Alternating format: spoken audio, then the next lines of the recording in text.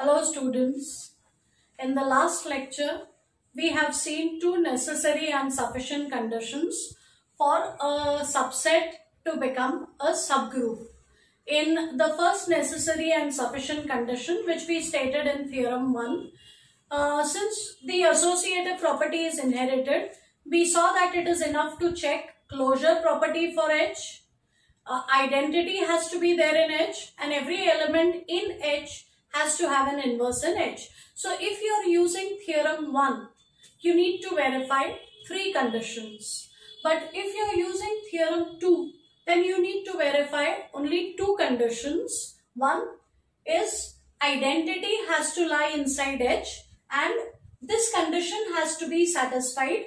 That means for any two elements of H, this combination, first element into inverse of the second, should again lie inside H. This property is like a combination of closure property and inverse property. So naturally, uh, the question would be, which would be a better property to use? Should I use necessary and sufficient condition given in theorem 1 or should I use the necessary and sufficient condition given in theorem 2? I would say I mean, as common sense dictates, since theorem 2 involves checking only two conditions, then you go ahead and use theorem 2 as a first option. But sometimes uh, you may uh, come across a dead end with theorem 2. We will see in some of the examples uh, that if you use theorem 2, it becomes a little bit more difficult to verify that something is a subgroup. In that case, you can always try theorem 1. Also, uh, look at theorem 2 again. What does theorem 2 say? Uh, apart from showing that the set is non-empty by showing that the most important element namely identity lies inside H, remember what condition has to be satisfied for all elements in H A into B inverse should also lie inside H. What I really mean by this is A star inverse of B must lie inside H. So that also by the way tells you how to compute this element. In order to compute this element, you must first take inverse of B and then combination of that with A.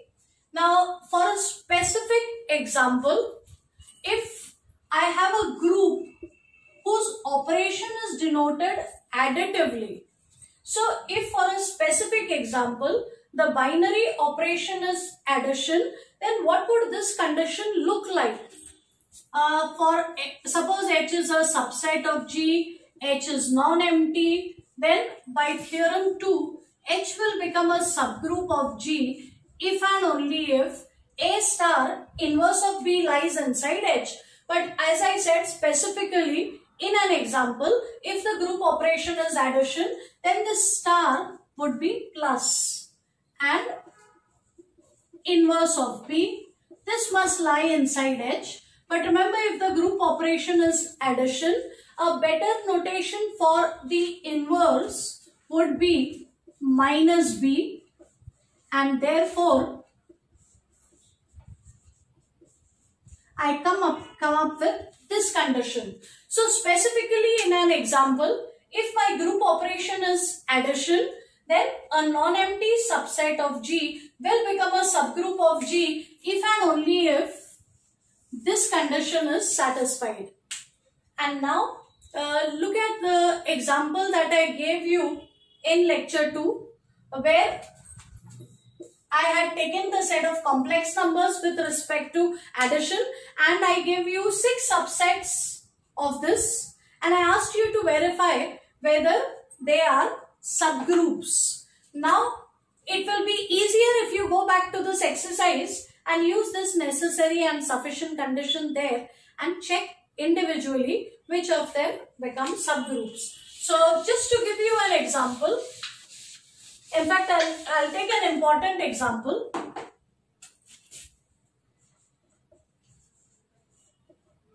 Let us prove that for every natural number n, nz with respect to addition is a subgroup of the set of integers with respect to addition. And uh, I have no doubt proved it in an earlier chapter that this is a group on its own, this is a group on its own and I know this is a subset of this so this is definitely a subgroup but I don't want to use that anymore. I want to illustrate this, this result. So remember the group operation in this case is addition. So because the group operation is addition, the necessary and sufficient condition of theorem 2 looks like this. So this is what I'm going to verify. But before you verify any condition, make sure that the most important element, that is the identity element belongs to the given set. So that will be my first step. But let's look at the definition of NZ. NZ by definition has to contain all multiples of n, all integral multiples of n. So nz will, elements in nz will look like n times some integer. Now look at identity for addition. Identity for addition is 0. I know that. And the only thing I really need to do is check whether it belongs to this set. Well, I can always write 0 as n times 0. So it looks like a multiple of n. And therefore, 0 belongs to nz. Please check this as your very first property. Before you proceed with the necessary and sufficient condition, always make sure that the identity lies in the given set. Now because it is uh, the operation is of addition, my necessary and sufficient condition will look like this. So take any two elements, arbitrary elements in the given set. My job is to prove that A minus B lies inside the same set. But for the moment, let me see what else I can imply from here. Because A lies in NZ, A has to be some multiple of N. Similarly, B has to be some other multiple of N. So B will look like N times Y for some y belonging to z. And now consider a minus b. a minus b looks like n times x minus n times y which is n times x minus y. And notice that this is a multiple of n. It is n times some integer. So this element a minus b once again lies inside nz.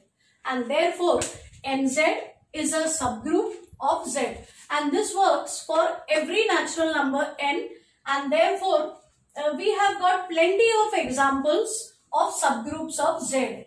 Uh, we know that 2Z is a subgroup of Z, 3Z is a subgroup of Z and so on.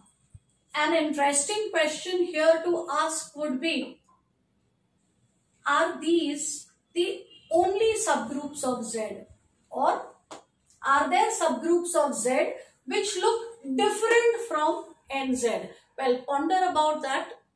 Think about it. You may not be able to come up with an answer immediately, but we are going to answer this question in the next few lectures. So let's look at a problem. G is given to be an abelian group. So it's a group in which commutative property is satisfied and H is given to be a subset of G for which this condition is satisfied. So any element of H will satisfy the condition that its square is identity. So an element will lie in H provided its square is equal to E. We have to prove that H will become a subgroup of G. So let us use theorem 1 uh, you can try using theorem 2 and see why it is a little more difficult. It's still possible, but uh, you'll have to probably end up doing a little more work. So I feel theorem 1 is better here. And uh, let's begin with, uh, firstly it is clear that H is a subset of G because I'm only picking elements from G. So clearly H is a subset of G. Let me immediately verify whether identity lies inside H, this should always be your first step. Because if identity does not lie inside H, the story ends over there. You need not proceed. That set will never become a group. So let's look at identity. Identity is there in G and in order to lie inside H, it must satisfy this condition. Its square has to be equal to E. But if you look at E square, E square is E times E which will be equal to E. So definitely identity satisfies this equation and therefore identity lies inside H. So that takes care of the identity property. Let us now go for the closure property. So for the closure property, I begin with two arbitrary elements of H. But if X lies inside H, its square will have to be equal to E and Y is also inside H. So square of Y will also have to be equal to E. Now remember I wish to prove that their product is again inside H. I wish to prove that closure property is satisfied. So if I take any two elements of H, my aim is to prove that their product is again inside H and product will lie inside H provided it satisfies this condition. So look at square of this element. Look at xy square. xy square is xy times xy. That's the meaning of square of an element. By a square, we mean a star a, which we write as a into a or a a. So, square of an element means that element times itself now we have one very important piece of information in the problem and that is this group G is abelian. Commutative property is satisfied. So I can use that commutative property and interchange the order of these two elements. Y into X can be written as X into Y. This is possible because the group is abelian. And now this is X square, this is Y square, but then X square is E y square is e. So this will be equal to e. So notice that for this element square is identity. That means this element also satisfies this kind of an equation. So I can say that x into y lies inside h which means closure property is satisfied in h. Now let us finally check the inverse property. Take any element in h that means x square is equal to e. Now you look at x inverse square. x inverse square will be x inverse times x inverse which will actually work out to be you can actually use laws of indices or you can even use inverse of the product is product of the inverses in the reverse order.